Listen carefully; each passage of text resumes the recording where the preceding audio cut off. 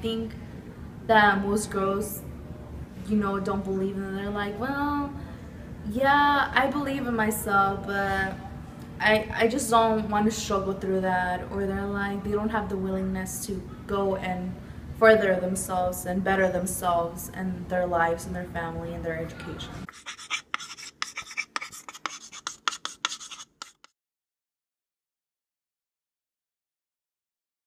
I'm Anna Navarro. I'm Jennifer Barrios. I'm Vanessa Moran.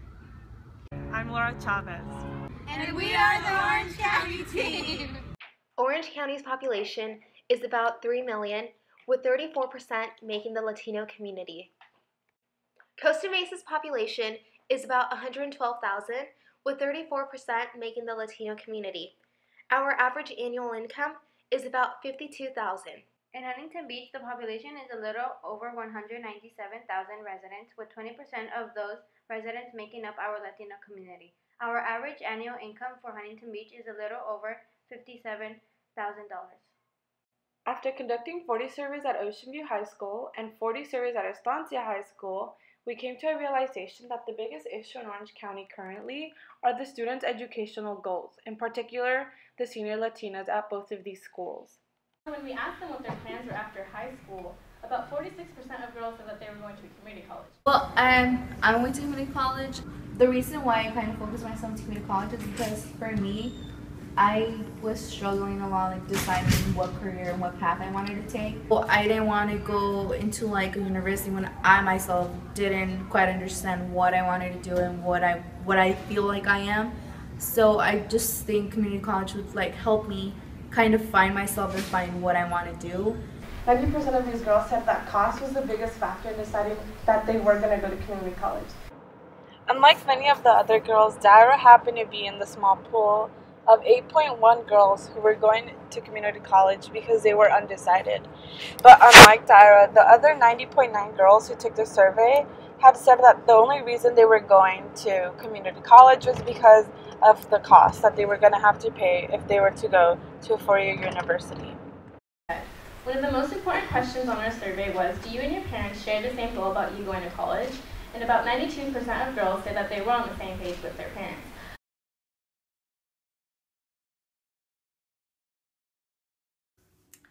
Uh, muchos estudiantes están escogiendo ir a, a colegios comunitarios porque no están informados que existen becas y pueden ellos agarrar FAFSA o diferentes uh, becas para asistir a una universidad. Mi hija y yo quisiéramos que ella asistiera a una universidad porque uh, en una universidad uh, tiene todas las clases que necesita para acabar sus estudios porque en los colegios comunitarios este, están muy llenos y aunque es un poco más económico, pero se tarda más en graduarse y es más tiempo.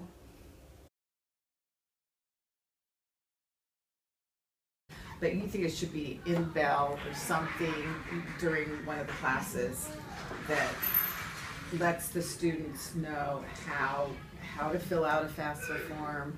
These are the scholarships. It's whatever we're doing, we're not doing enough of it. Yes, Okay. because I, I think we Okay. just need to put a bit of emphasis on this, that two point nine billion dollars that can be used Wow. for, it- they are unused, they're not Wow. used, and that's something that we need to utilize our resources to actually use those two point nine billion. Right.